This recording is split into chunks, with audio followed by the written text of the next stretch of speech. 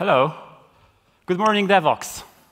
Welcome on the third day, and welcome to my presentation, which today is Seven Deadlier Sins of Craftsmanship. My name is Tomek, and I want to welcome you. A few words about me. I was a software developer, then I started to be some more process, agile roles involved, like Scrum Master, some agile trainers, to finally become a leader and manager, and that's what I'm doing right now. I'm a manager, unfortunately, maybe, for some. Uh, looking after some teams, helping them to achieve everything they want, uh, and making their life hopefully easier, not harder.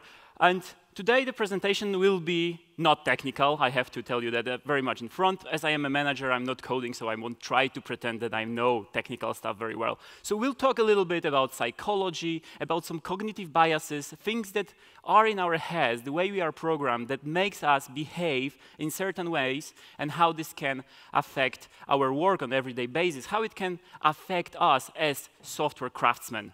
So probably the first question, why seven deadlier sins, not simply seven deadly sins? It will be much easier. Seven deadly sins is like from the Bible and so on. So why deadlier sins? I will try to explain it to you, or I will explain it to you simply in like next three or four minutes when we get to the right slide. But first, I don't want this to be like an ordinary, regular, kind of boring presentation. I want to do something different, right? I want to play a game. And those of you who are fans of horror movies probably recognize this quote straight away, right? Like the Saw. And that movie wasn't fun. It wasn't a fun game, right? There was like blood, flash, and guts flying everywhere. So it wasn't really nice. So are we going to do something like this today? The answer is no. We're going to play something much more pleasant, something much more interesting, and hopefully something that you will learn from. And the second question you might ask yourself, especially people who were here at Devoxx last year, it's the question like, again? Because last year at Devoxx, I started my presentation exactly with the same slide. So are we having the same presentation again? The answer is no. We're going to play a game, but it'll be a bit different game than last year. Today is going to be kind of an adventure game. We'll be going through some chapters, learning from some characters we meet, met, meet on the way. And um, first of all, every presentation needs a theme, right? And today, we are going retro. We are going retro, we are going back to the 80s. I know that calling 80s uh, retro time because we are all from the 80s, so it's not very cool. But for games, 80s is definitely a retro. So we're going retro, there will be plenty of pixel arts, plenty of retro characters, and so on. So I hope you will enjoy that trip together with me. So first, as I said, we go back to the 80s, but we have to have kind of a main theme for the presentation. And those of you who actually seen any time in the past any of my presentations, you know you, I very much inspire myself with TV shows, books, comics, movies, and so on. So today I also wanted to have a presentation in my theme to put the game into some world. So I was watching one of the TV shows, a very good one, which really inspired me for this. And why not Deadly Sins, but Deadlier Sins? You can probably guess what I was watching last year all the time.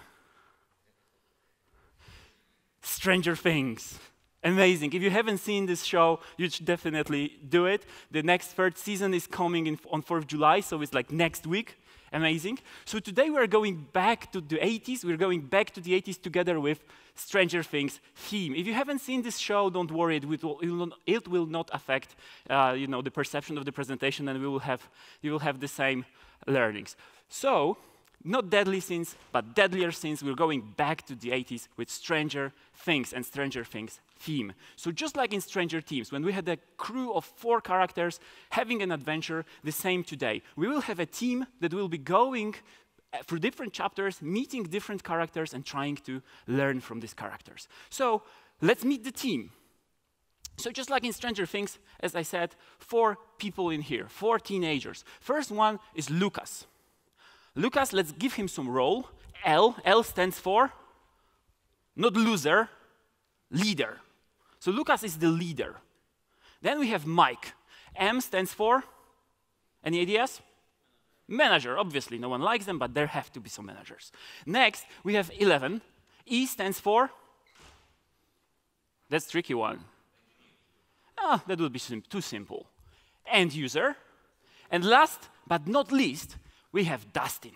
And D stands for, obviously, Dustin is the developer, and he's the most important person today because looking through his eyes, we will try to learn things. From, from developer's perspective, we'll try to look at the characters we are going to meet in the next parts of the presentation, and we will try to learn what we can improve, or what are the traps that are in our brains that cause us to act in a certain way, to behave in a certain way. So, if you are ready, let our adventure begin. So, chapter number one the first deadly sin pride.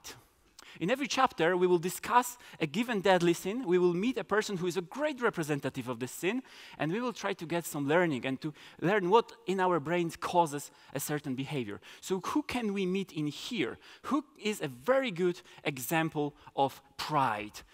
If you played Pokemon or any other this kind of game in the 90s, you probably recognize this. So who can we meet in here? Who is a very good example of being really proud, really too confident, even cocky? Any ideas? From world of TV shows, movies, and so on. Do you have any ideas? Try to guess. Who? No, but that would be a good idea. no, I think there's a person who is definitely much more cocky, and this is Sheldon Cooper. So Sheldon Cooper appears, right? Zinga.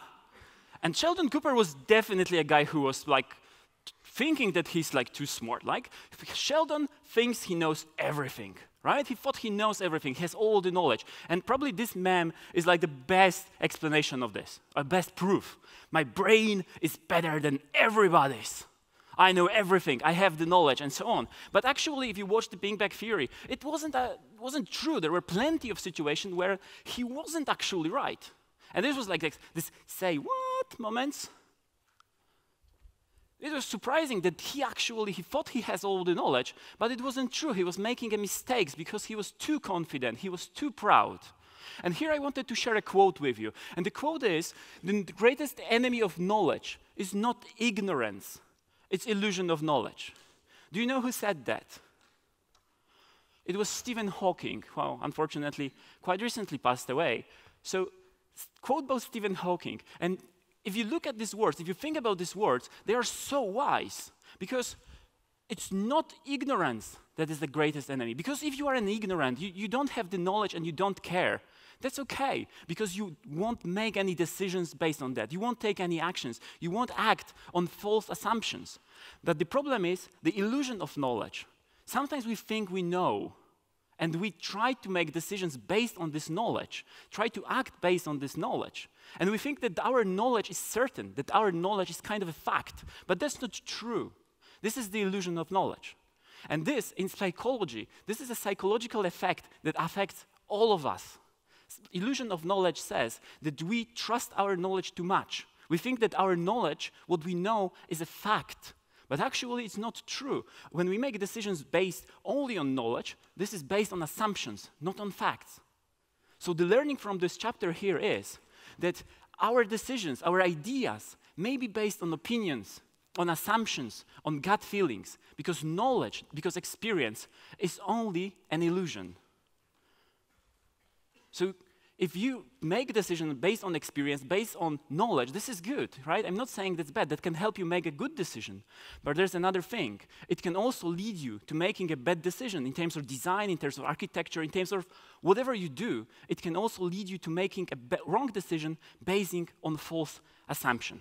So that was chapter number one. Let's go to chapter number two. Chapter number two is greed. Here we here we meet some greedy, nasty character. A really stereotype, bad stereotype of a manager, to be honest. So who can we meet in here? Any ideas? Who can we meet in here? A really greedy guy. I haven't heard that. No. Here we met meet Mr. Burns. Mr. Burns from one of my favorite cartoons, The Simpsons. So Mr. Burns appears. Excellent. So this guy was greedy, right? This is all he was interested in. He wanted money, he wanted this gold. It's all mine, right? This is what he wanted. But I don't want to talk about money in here. First, because I'm not quite confident in this topic, and second thing, I don't have eight hours of your time. So I don't want to talk about money. I want to talk about something a bit different. I want to talk about these treasures, this is our treasures we have in our IT world, in our projects, in our everyday job, things we like to do. Because we have these cool things, these nice, I don't know, greenfield projects where we can experiment or trying some new fancy shining technology or I don't know, maybe doing a demo for a customer to, you know, like boost our visibility. Those are the cool things we want to have and we want to have them all for ourselves. But there's a problem with that. And another psychological effect comes into play. So we want all this, but there is something that we can lose doing this. Because I hope that, oh, that's like, this is how we feel, more or less, when we have all these tasks, right? We feel like a child in the candy factory or candy shop. So what comes into play in here? I hope that this picture may help you a little bit. I wanted to tell you about something that is called the cheerleader effect. The cheerleader effect, and probably some of you recognize this already and will say like, man, what are you talking about? This is absolutely not it. Uh, cheerleader effect is some crazy theory from TV shows. But actually, there is in psychology a, a cheerleader effect, and it's proven to be true in some uh, environments, in some societies. But in general, cheerleader effect says that in a group, we seem more attractive than on our own. But I don't want to talk in here about attractiveness. I don't want to talk about who's pretty, who's not, because Come on, it's an IT conference. So I wanted to change a little bit this cheerleader effect to something like my own, from my own observations. And this is actually no, not based on, not, not backed up by any actual psychological research.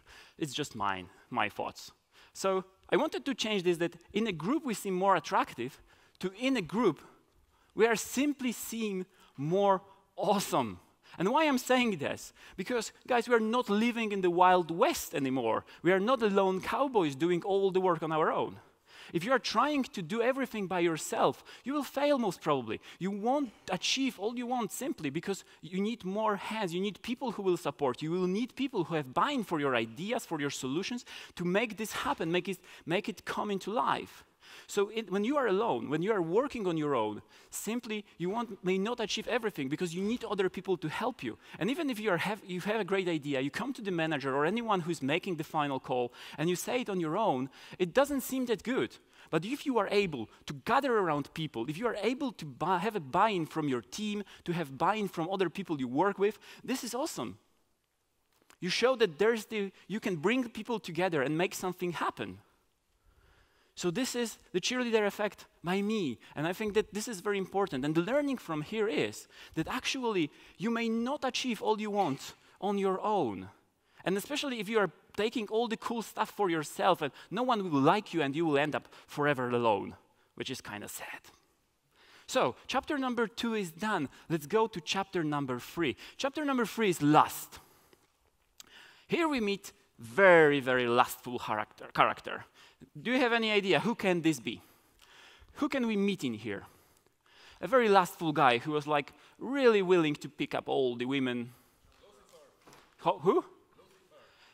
Barney Stinson. Exactly. So here we meet Barney Stinson. Barney Stinson appears. Barney Stinson, who is awesome. If you don't recognize him from here, you probably recognize this guy straight away. Kind of a like a really character, a true persona in like world of in, in general, like media. He became a meme and everything. So Barney Stinson was awesome, and Barney Stinson wanted everything. Right? He wanted everything. All for himself. He wanted all the beautiful women. He wanted all the best suits. He wanted money. He wanted fame. He wanted everything. He was lustful. He was really, really lustful. But if you think about it, well, the question is why he wanted all this. Because if any of you have seen How I Met Your Mother show, the, obviously the thing he was looking for was a true love. obviously, right? TV show. So the question is, why he wanted all this? And the answer to this question is very simple. Because he saw other people in best suits, picking up women, having money, being famous, and he wanted the same things. He hoped that the same things will give him happiness because he saw other people acting like this, being happy. So he thought if he does the same, then he will be happy as well. He was mimicking some things, hoping to achieve the same result. And this is a perfect example of a psychological phenomena for me called the cargo cult. I don't know how many of you heard about the cargo cult, but when I, for the first time, heard about it, I was like amazed with the story. It was like shocking. To give you a quick explanation what the cargo cult is, you have to go back to the Second World War when Americans were fighting Japanese on the Pacific Ocean. So Americans were building their bases on these Pacific Oceans, the wild Pacific Ocean islands where there were wild people, wild like local people who never seen any civilization or anything like this. So they went there, they started to build their bases, right? They started to build like runways for planes to take off and land. They started to build radars. They started to build like flight control towers and all stuff like this. And obviously they had to build some relation with this local wild man. So they started to give them some gifts and so on. And obviously, if you are a wild man who never seen any civilization, there's a, there are people coming from the sky and giving you gifts. They are gods, right? It's like a pure definition of God, coming from the sky giving you things. So they thought Americans were gods. But then the war was over, and Americans flew back home. So looking again from this wild man perspective, it was like the gods were here, and now they're gone. We have to do something to bring them back. So they started to do exactly the same things that Americans were doing, hoping to bring, bring them back. So they started to build planes, they started to build runways, they started to build radars, flight control towers, from whatever they could found, find. So they started to build all this stuff from sticks, from clay, from bamboo, from ropes, and stuff like this. And they were hoping that Americans will come back. And now, when we look from our perspective at this, us as civilized people who actually know how planes works, this seems so silly, right? You silly wild people, this is not how the plane works. This is like a silly story. But look, we are doing the same things in our organization. We are doing the same things in our projects because we see something that other companies doing and we apply the same practices. We take the same practices and try to apply them in our work, hoping to achieve the same effects. And I'm not saying that's bad because it's really good to look at big players, to, to look at the companies that are setting trends like Google, Spotify, Netflix, and so on. It's good to look at these guys and look at what are they doing, but they do these things for the reason and this is thing we have to remember. They are doing those things for a reason. They are achieving some effects because they are prepared to do this, this technique, this method, this framework, whatever you have there. there is the, it's there for a reason, and they, it's designed, it's, it's applied to achieve a certain effect. And if we just take all these things and put into our projects, it simply may not work. This will be a cargo cult. And you want to end up with a jumbo jet, with applying this all the practices you learned from Google or something else. And instead of ending up with a jumbo jet, you end up with a plane from sticks. And it doesn't work. So the learning in here is that you may introduce new things, tools, frameworks, processes, whatever, only because others do, without understanding why you actually need them. So chapter number three is done. We go to the chapter number four. Chapter number four is envy. Envy. So we meet in here a little mean guy who's really envy, who's really jealous of everyone else. So who will be a really good example of this sin? Ideas? Stewie. Nope. But um, uh, it's uh, not a bad idea. However, I have a better example. Here we meet Eric Cartman. we meet Eric Cartman from South Park, like, screw you guys, I'm going home. So we meet this guy. This guy was really a mean little, let's say, bastard, to be more or less kind of like, keep some level. so he was a mean guy. He was really envy, really jealous. So he, in general, hated. He hates when other, other people are kind of, I don't know, happier, if they are better than him, or actually whatever, right? He always thought that his ideas, he must be on the top, he must be the number one. And the thing is that, you know, we have these people around. We have these people in the meetings. There is sometimes Eric Cartman inside us, and you can easily see when you have a discussion on some solution, on applying some, I don't know, new architecture, or something like this, you can see these people if there's not their idea being, you know, like chosen, it's, it's not their idea being implemented, you can see them. It's like there are some signs you can understand that here's Eric Cartman coming up, right? This angry eyebrows, like this, you know, like this clenched lips, rapidly blinking eyes. This is all signs that this guy is like, Ugh. I know better. I want my idea to be chosen. I want my solution to be chosen. And the thing is that Eric Cartman is even worse because he's not only willing to have his idea on the top, but also he kind of enjoys when other people fail. It's not only that his idea must be the best one, but when other people fail, he like he has this satisfaction, right? Like again, the proof: mm, your tears are so yummy and sweet. I enjoy when you fail. And I have to say, like, we are professionals, right? We are adults, we are professional. We don't behave that way. But I started to think about it, and is that really true? We don't behave that way. Maybe we don't say it like this, but if I had to translate this, mm, your tears are so yummy and sweet, into our IT language, I would say it's something like, I told you so. right? Like, we're professionals, so you know, like poker face here, but inside you're laughing, like, I, I, had a better idea, and you chosen this one, and it didn't work. Like, I told you so. I'm sorry it happened that way, but I told you so. That's us. That's our little Eric Cartman inside, right? And the thing is that this Eric Cartman usually shows up when this discussion starts. Where the discussion starts, we have some different ideas, then, ah, I want mine to be on the top. I want this idea, this is mine idea to be chosen. And when the discussion starts, again, we are professional, we are adults, but when the discussion starts, it's actually usually something like, I'm right and you're wrong. And if you want to discuss, well, we can discuss how wrong you are, simply, yeah? Because it's not like I'm looking for people to give me feedback on my solution. Yes, they can do it, but it's wrong. Mine is good. So that's the problem. And here another cognitive bias comes into play, and this is called the confirmation bias.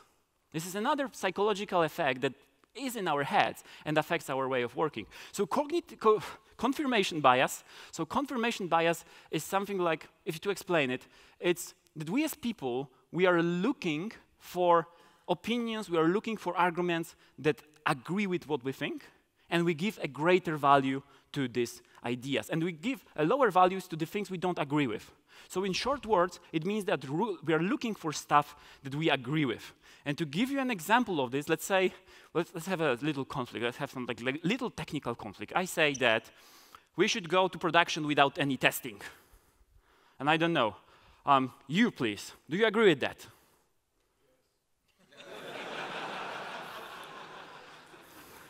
That's cool. Can you tell everybody where you work, for example?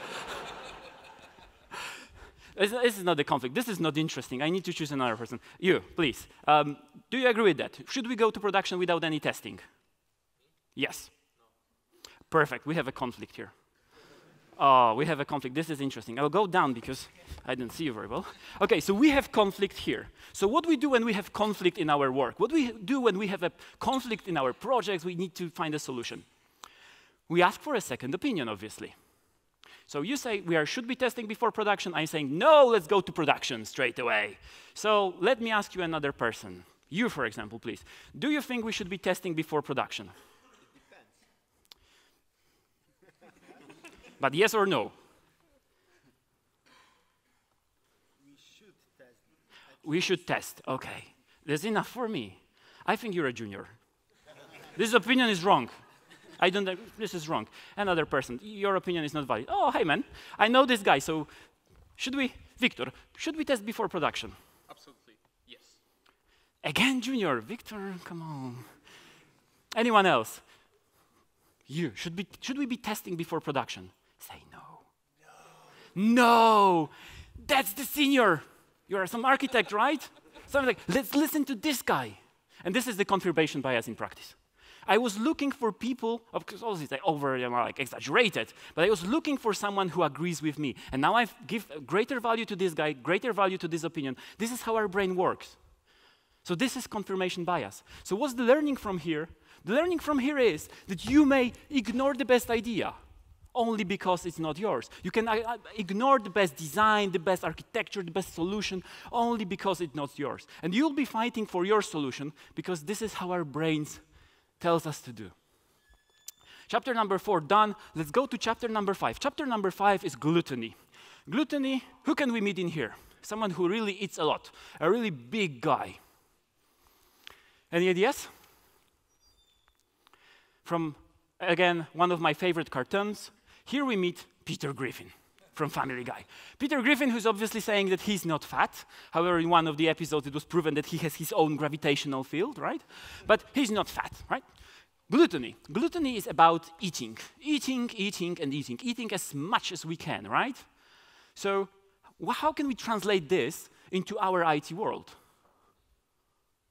Well, obviously, we can use more and more things. We can use more and more tools, right? We can use tools as many as we can because they are cool, because they are fancy, they look good in the CV, so let's put all them in the project. But that's not really good because it actually increases complexity. But there's something worse that is happening. When we have enough tools, we don't have any more to add. What do we like to do? Let's go back to our main character. Let's go back to Dustin. So Dustin has an idea. So, better idea. Let's craft our own tools because we are doing such an innovative project that no one did before. We don't have the right tools, so we'll craft our own tools, right? And this is like you can see people in your organizations who are actually working on their own project, especially like own tool, own framework, especially at the beginning, right? Because they are, have this fire. They are motivated, they have fire, they are doing some greenfield work, they are doing some super cool stuff. And you know, like this is something brand new that will change the work, so, world, so they feel at least like Elon Musk. So you know, like you put combine this fire and this Elon Musk attitude, you get like really motivated guys who look like unicorns with you know like wind in their hair going through the corridors. But then the reality comes. And actually building your own tools, building your own frameworks is not that simple. So it kind of demotivates you, and after some time, you are not that happy with what you are doing. The second thing is that if you have plenty of your own tools in your project, you have like so big complexity that if anyone joins your team, they spend like half a year learning what you are using because there are some like own frameworks. And in general, after being this happy, you know, like unicorn at the very beginning, you end up like kind of like a sad pony. So why are we doing this? Even though on every conferences Oh, every conference I've been to, everyone is saying like, don't do your own frameworks. Use open source, use the existing tools. And we do in all our companies? We build our own frameworks, right? Because there's no proper solution to, I don't know, monitor the cloud. There is no proper solution to write tests in the, in the cloud. There is no framework that, I don't know, for performance tests or anything like this. We have to do it on our own. And we build these frameworks, we build that, and the worst thing is that we keep stuck with them. We keep stuck with them. And why is this happening? And I wanted to explain you again some psychological cognitive bias that stands behind that. And to help you understand, I wanted to show you this picture. Some of you probably know that, especially people from Krakow.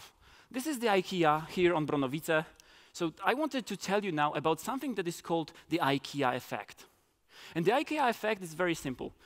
Well, if you look at this shop, if you look at the IKEA, well, if you look at their products, well, they are no, no, they are not top quality, right? They are not like the best quality. They are not the cheapest even. And the more, more you have to take them home and put it together on your own. So kind of sucks. So why they are so popular? Well, the key thing here is that you have to put this furniture together on your own. And this is the IKEA effect from this brand. Uh, IKEA effect says that we put a greater value in our own creations. So if you buy a chair in IKEA, you bring it home, you put it together, well, it's somehow crooked, right? It's not comfortable perfectly. It's not that comfortable, you know? But it's yours, right? You feel like a hero in your home. You are the man, the manly man. Like thousands of years ago, this was like hunting a lion with your bare hands. Now it's like putting a chair from IKEA. But you feel the man. And this is it. You created it, so you give it a greater value. So the learning from here is that more is not better, especially in terms of tools and processes and so on. And the second thing is that your tool may not be the best one. You may think so only because you created it yourself. Chapter number five is done. Let's go to chapter number six. Chapter number six is wrath, anger. Someone with really anger, true anger management issues. Who can we meet in here? I can give you a hint. This, this guy is really green. Hulk, definitely. So in this chapter, we meet Hulk. Hulk, the green guy, Hulk smash, right? This guy truly had some anger management issues. So what can we learn from this guy? Like, getting angry, destroying everything is like not the best feature. Let's be honest. So what can we what can we learn? What can we learn from from that guy? Well, honestly, I had a problem with translating wrath to our behaviors in, in the IT world, in our projects. So first I started to read about anger itself, and it turns out that anger is a like natural emotion that is protecting us. Well, question, protecting us from what? Protecting us from the things we consider wrong. So if something is wrong, something is not as we would like it to be, then we get angry. And I started to think about myself. Um, it's not like I'm, I'm kind of an emotional guy, right? So if you ask any people who work with me, I will say like, yeah, I'm getting angry, happy, and sad all in around one minute. So I'm kind of getting angry very often, but it's not like I'm coming to the office, I'm angry at 9 a.m., I keep being angry till 5 p.m., and I go home. No, it's usually I'm getting angry because something happened. There's, there was some decision taken, there was some action. Something happened, and this caused anger. And you know, this is another, there's another cognitive bias, another psychological effect that comes into play in here, and it's called deflection to the result. So, deflection to the result, what is deflection to the result? Deflection to the result says that we as people, we look at the final result only. We focus on the final result, and our brains tend to ignore all the context. To give you an example of this, let, let, us have an example um, to make it like easier to remember and, and easier to, to, to, to understand. Let's have an example. You see a guy on the street with a brand new iPhone. Brand new, this one of the most expensive ones, the new one. So you see the guy with a brand new iPhone. And let's, for this example, assume that iPhone is actually a good phone. Okay? That's important. So let's assume that iPhone is a good phone and you see a guy with an iPhone on the street. So what do you think? You'll say that, yeah, he he made a good decision. Yeah, this was good. Well, it's, yeah, it's a bit expensive, but this is a great phone, great value. So this was a good decision.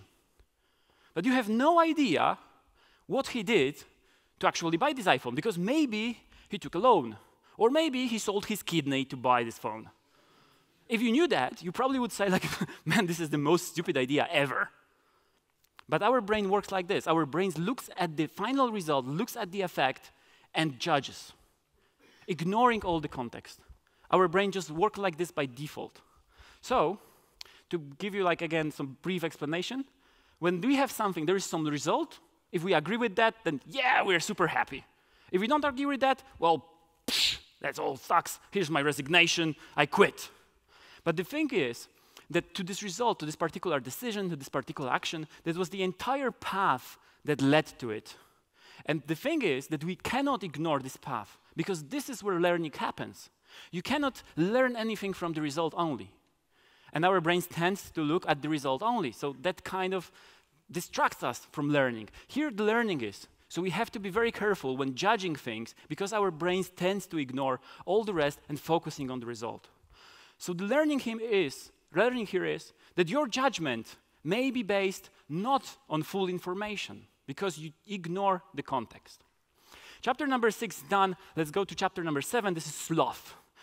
Sloth, laziness. Who can we meet in here? Who is a very good example of being lazy? Any ideas? Who? Send me your picture, I'll put them in the slides. okay, so here we meet again from my favorite Simpsons, the Homer Simpson. Homer Simpson appears, he's kind of sleeping at the moment, so Let's not distract him. Let's go to this. This is another quote. I won't ask you who, who told that because it's obviously one of the smart thoughts from Homer Simpson. So, trying is the first step towards failure. And you know what's funny? Then when you actually read that, it's kind of true, right? It's like, it's hard to disagree. If you don't try anything, well, you won't fail. But the problem is that if you won't try anything, you will also not succeed. And that's the problem because, you know, IT world is changing so fast, the technologies are changing so fast that we have to try new things. We have to keep experimenting. We have to do new things. Otherwise, we will just be lost. We have to keep up to date. And here again, our brain kind of prevents us from doing that. So let's see this. Let's, on our adventure, let's say that Dustin is in front of a junction, and he has a one way to choose out of two. So one is the old way that he knows very well, he traveled it plenty of times, and the second road is brand new. He never walked through this way. What will he do? Well, most probably he'll say something like, okay, I choose the old way, I know it well, so I'll go this way because it's like, yeah, I know it. And that's the problem. And this thing in psychology is called a well traveled road effect. In general, it says that, well, our brain tends to play it safe and choose the solution we know, the things we already know, we do, did them, and so on. Because, you know, during like thousands of years of evolution, our brain had just one task, right? It was to keep us alive. So thanks to evolution, we developed a strategy that is quite successful because we are still here, right? And the strategy was play it safe. Other strategies that weren't like this didn't succeed that well, right? If we, I don't know, like, I don't know, if someone thought that it will be very good to fight, I don't know, a lion with the bare hands, it didn't work, right? We are here, we don't see many people fighting with lions, for example. Or at least we, when we see them, we see them for a very short, short time, and they're done. So our brain had this strategy to play it safe. And this is what is happening. This is how our brain works by default. So if there's something new to be chosen, our brain will say, nah, let's choose the old way, it's safer. Let's, let's don't do it because it might kill you. so this is the thing. But the problem is that you can travel the same road 100 times and this will be okay. But there will be this 101st time when this road turns out to be a dead end and you can actually crash. So the learning from here, from the seventh chapter, is that using the same way all the time may simply give you no results. Chapter 7 done. Chapter number 8, the grand finale. Because we went through all the deadly sins, went through all this. And guys, we have to confess. We have to confess, right? Don't worry. We can confess in here. Everything we say in here stays between us, stays in here and obviously on YouTube, but let's not worry about that. So we can confess, right? We sinned. Come on, guys. Didn't you have this, I don't know, this Sheldon Cooper moment when you had this like you were discussing some solution and you had this feeling inside like, I know how we should do it. Let's stop discussing it, just let's do it like I say. Or you had this Homer Simpson moment where you were saying like, why are we discussing this? Let's just do it like we always did and let's go home. It's obvious. We had this. This is in our brains. This is, this is part of who we are as people, as human beings. So we have to confess we sinned. I sinned, you sinned, Dustin sinned, obviously. And what happens to you when you sin? Well, you go to hell. So Dustin goes to hell. And who's in hell? There's Mr. Devil. So Mr. Devil appears, and Mr. Devil says, Ha ha, welcome to hell, you sinner. It's time for your punishment, right? The best thing, now it's time to punish. But the thing is that all the behaviors, all these bad behaviors we are discussing are actually subconscious. It's not like we want to behave this way. This is how our brain is programmed. So now, when we are aware that this is happening for us subconsciously, now we can change this bad behavior and turn them into something good, right? So, not for so fast, Mr. Devil, because we can change what we do. So, how can we change this? Well, we had these bad behaviors, right? First, in the first chapter, we met Sheldon Cooper, who was so proud. He was trusting his knowledge too much, and he was making bad decisions based on assumptions, based on his like gut feelings and on his illusions. So it was bad because it was leading from time to time to really bad decisions. So how can we change that into a good behavior well, simply, instead of basing on our opinions, basing on our assumptions, and so on, we can simply start using data and start to try at least to do some data driven decisions. Start to make data driven decisions. Use data to choose things. Next, in the chapter two, we met greedy Mr. Burns, who was taking everything for himself. He was taking all for himself, and he couldn't achieve all he wanted because no one was working with him. And he was forever alone. And that was bad. So, how can we change that? Well, maybe it's time to start working as a team with together with, you know, other I don't know, BAs, QAs, whoever there is, but starting to work together, starting to work together as a team, because then you can achieve much more. Then in chapter three, we met lustful Barney Stinson. Barney Stinson who wanted everything. He was putting all and all he wanted all the things and he was affected by the cargo cult. He was mimicking what he saw in other companies and putting the same practices into his project, but it wasn't bringing any results. So how can we get do this differently? Well, we can start with one very important question. We can start with why. By the way, this is an amazing book by Simon Sinek, so I definitely recommend you to read it. So we can start with why. Why we want to apply these practices, why we want to use this tool, what we want to achieve. Then, chapter four, we met this little mean Eric Cartman. Eric Cartman, who, was, who wanted his ideas to be on top, to his solutions to be implemented. So he was affected by the confirmation bias, and in every discussion, he was looking for arguments that were supporting his vision, and he was pushing his ideas on top. And this wasn't the best ideas. So, what, we, what we can do to assess the ideas? Well, if we have data, we, we know what we want to achieve. Maybe it's time to apply some metrics. Try to start to measure things. By the way, again, measure everything. Again, another great book. Definitely recommendation uh, to read for you all. Next, in chapter five, we met gluttony, Peter Griffin, who was eating and eating and eating and putting all the tools, all the, and all the frameworks to his project. And when it was not enough, he was crafting his own tools and kept stuck with them because of IKEA effect, because he was thinking they are so great when they actually weren't. So now again, how can we turn this behavior to something good? Well, if we have data, metrics, we can start to evaluate the real value. We can start to think, what are these tools bringing? What is the value? If there's no value, time to kick it out. I know it can be hard if you, you know, like polished your tool for last two years, but sometimes it's time to say goodbye.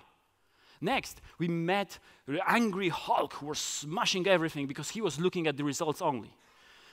But this was caused by deflection to the results. He was looking at the result only, ignoring all the context. So how can we avoid that? Well, instead of looking at our project only, our next task, our next sprint, maybe it's time to start seeing the big picture. What's happening in the organization? What is actually needed? So looking broader to get more knowledge, to get better understanding of what is happening. Then finally, in the last chapter, uh, chapter seven, we met lazy sleeping Homer Simpson, who was so lazy that he was choosing the same solutions all the time because of the well-traveled road effect, who was like, which was like blocking him for trying the new ways. And it was bad because he was doing all the same things and achieving no result. So how can you change this? Well, if you have all these six good behaviors I told you about uh, just a minute uh, ago, you can start to run small, well-defined experiments. If you have data, you have metrics, you know why you are doing things, you know what you want to achieve, you have buy-in from your team, you see the big picture, how it fits the bigger picture, then you can define and execute small, good experiments and achieve value much faster. And now what these good behaviors, these good behaviors I've been talking about here, they are a great foundation. They are a great foundation that you can build on. You can build on these behaviors. Let me tell you once again these good behaviors. Data-driven decisions, working as a team, starting with why, measuring things, evaluating real value, seeing that big picture, and running experiments. On these good behaviors, you can start to build something amazing, which I like to call this craftsmanship culture. You can start to build this craftsmanship culture in your team where everyone feels that, and everyone understands what we want to do. And this craftsmanship, this true craftsmanship, is in the way you work. And if you have this in your team, you can go up and from the, like, the bottom try to change more. You can start to building this software craftsmanship culture in your entire organization. And if you achieve this, if craftsmanship is in your culture and is, is in the way of working in your company, in your organization, this is an awesome place to be. This is an awesome place to be because you can try new things. No one will ask you why you want to achieve that and how much will it will take. Because experiments are there. You can try new technologies, you can try new frameworks, you can grow as craftsman, you can grow as developer. So being in such company, being in company or being in an organization that craftsmanship is a part of the culture is great. And this is something that I definitely wish all of you. And that's it from me. Thank you very much.